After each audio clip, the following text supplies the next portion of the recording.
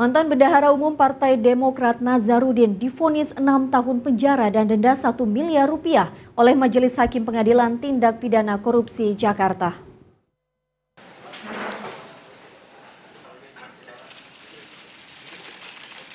Majelis Hakim menilai Nazarudin terbukti bersalah telah menerima gratifikasi dari dua perusahaan, yakni PT Duta Graha Indah dan PT Nindya Karya untuk memuluskan proyek di sektor pendidikan dan kesehatan yang jumlahnya mencapai 40,37 miliar rupiah saat masih menjabat sebagai anggota DPR RI dari Partai Demokrat.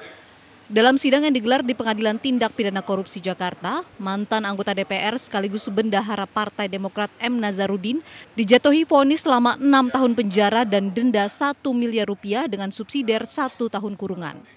Pertimbangan lain yang memberatkan terdakwa adalah karena terbukti telah melakukan praktik korupsi dan pencucian uang serta dianggap tidak mendukung program pemberantasan korupsi. Nazarudin menyatakan pasrah atas vonis hakim, namun ia bertekad akan membongkar seluruh praktik korupsi yang melibatkan sejumlah pejabat negara dan politisi partai.